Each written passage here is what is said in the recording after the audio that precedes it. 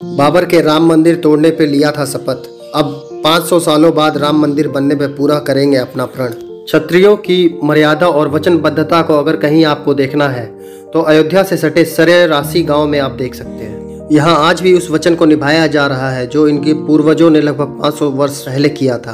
दरअसल बाबर के द्वारा राम मंदिर के गिराए जाने पर इस गाँव के पुरखों ने यह वचन लिया था कि जब तक राम लल्ला अपने महल में वापस स्थापित नहीं हो तब तक ना तो हम पगड़ी धारण करेंगे और ना ही पैरों में चप्पल पहनेंगे। दोस्तों, तब से ही हाड़ को कपा देने वाली ठंड हो या सर को जला देने वाली धूप और गर्मी, सरे राशि गाँव के सूर्यवंशी क्षत्रियों ने रघुकुल रीत को कभी भी नहीं तोड़ा। और वो सर पे बिना पगड़ी और पैरों में बिना चप्पल के ही रहे। अब 22 जनवरी को राम लल्ला के प्राण प्रतिष्ठा के साथ ही इन सूर्यवंशियों का भी वचन पूरा होने वाला है और वो पगड़ी और चप्पल दोनों धारण करेंगे।